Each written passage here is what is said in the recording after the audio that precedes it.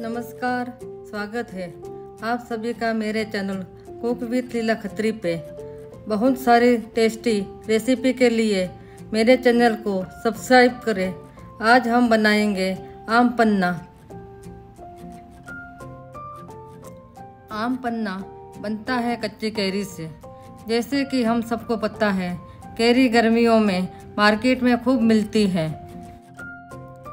गर्मियों में आम पन्ना पीना हमारे शरीर के लिए बहुत ही फ़ायदेमंद है। चलिए, बनाते हैं आम पन्ना। आम पन्ना बनाने के लिए हमें चाहिए कच्ची कैरी 250 ग्राम, एक कप पुदीना की पत्तियाँ और चीनी 500 ग्राम। नमक, एक टेबल स्पून काला नमक, एक टेबल स्पून भुना और पिसा हुआ जीरा, एक टेबल स्पून पीसी काली मिर्च एक टीस्पून। सबसे पहले हम एक खुला बर्तन लेंगे और उसमें डालेंगे कटे हुई कच्ची कैरी।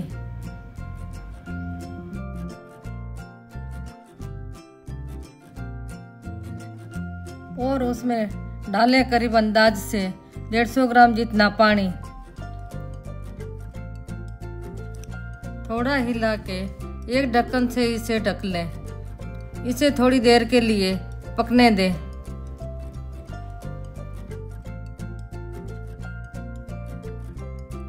हमने इसे ढक के आठ दस मिनट तक पका लिया है। अब यह अच्छे से पक गया है। गर्मियों में आम पन्ना पीने के कई फ़ायदे होते हैं।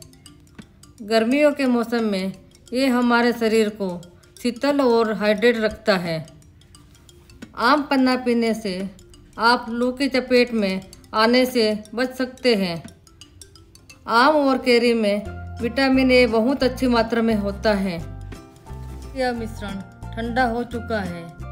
एक मिक्सी का जार लें, उसमें उबली हुई केरी डालें। पुदीना की पत्तियाँ पानी डालें और स्मूथ पेस्ट बनने तक पीस लें।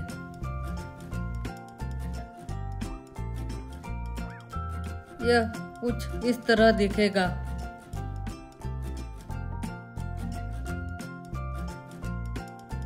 एक बर्तन में हम डालेंगे चीनी और अंदाज़ा 200 ग्राम पानी।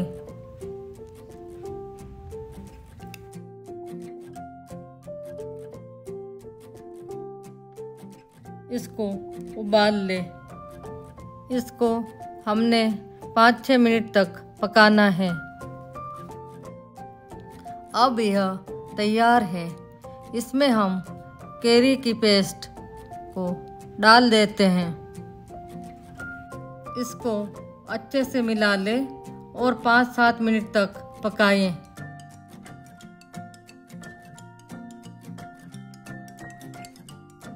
देखिए, इसका रंग बदल गया है। अब हम इसमें डालेंगे नमक, काला नमक, जीरा, और काली मिर्च। इन सबको हम अच्छे से मिला लेते हैं।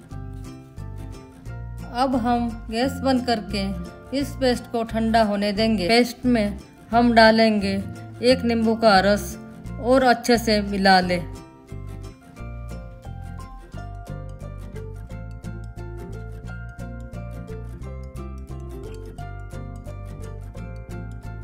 अब एक छन्नी लेके हम यह पेस्ट को छान लेते हैं ताकि अगर इसमें कोई आम का जाला हो तो वो निकल जाए।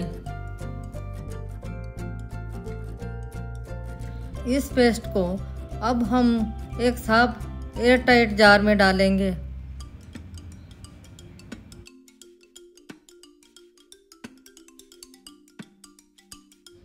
यह आसानी से दो तीन महीने तक खराब नहीं होगा। आम पन्ना बनाने के लिए एक गिलास में हम डालेंगे दो टेबलस्पून आम पन्ना पेस्ट और 150 ग्राम पानी। इसे एक चम्मच की सहायता से अच्छे से मिक्स कर लें।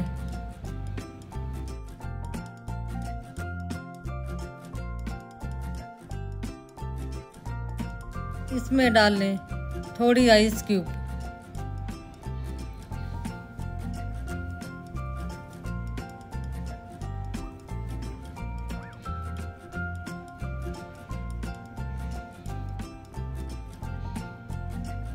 गार्निशिंग के लिए पुदीने की पत्तियाँ और एक स्लाइस नींबू की। अब तैयार है। बहुत ही टेस्टी, सेहतमंद और रिफ्रेशिंग आम पन्ना। है ना, बहुत रिफ्रेशिंग।